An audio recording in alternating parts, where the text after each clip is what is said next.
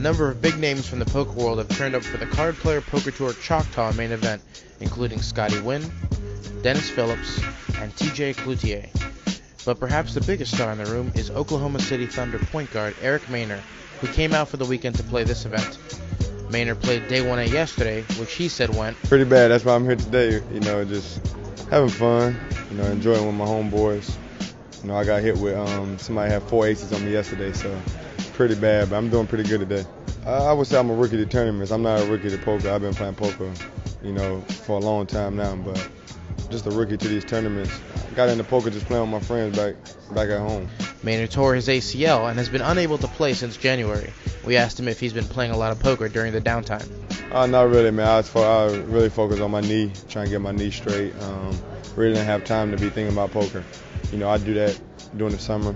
I do it during the summer. when I got some off time, some weekends, and uh, you know, it was a great weekend to come out here. It was only two hours and a half from my house, so it was cool.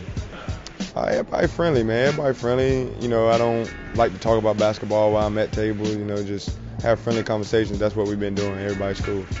Big screens in the tournament room have been showing Olympic coverage around the clock. Team USA had a close call against Lithuania today, and we asked Maynor if he caught the game. I didn't wake up in time to watch it. You know, I woke up and seen they had won by maybe five, I think. You know, but it's all about winning. No matter if you win by one or 40, it don't matter. You just got to try to get a win. Maynor is looking to get a win himself here in the main event, where a lot of Thunder gear can be seen around the room. We asked him if it was a bit surreal to play side by side with his fans. Uh, not anymore, man, because, you know, at first, maybe three years ago, it was kind of weird, but now it's like, we're like the favorite with everybody. Everybody loves us, whether they're in Oklahoma or not. You know, it's good. It's good. We got a bunch of young guys that work hard. You know, just try to compete every night.